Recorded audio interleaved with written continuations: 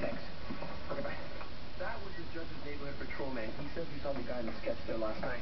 Did he get a name or a license plate? No, apparently he was just parked outside of the judge's house at a maroon-colored Infiniti. When he saw the patrolman, he took off. Well, whoever this guy is, he's not the husband in any of the judge's last 15 cases. There's a whole lot more. Violent husbands with large elements on top. You're a doll. Explain where that came from. To uh, poor Rosa? He checked into the W last night. Pay-per-view and room service alibi. I must have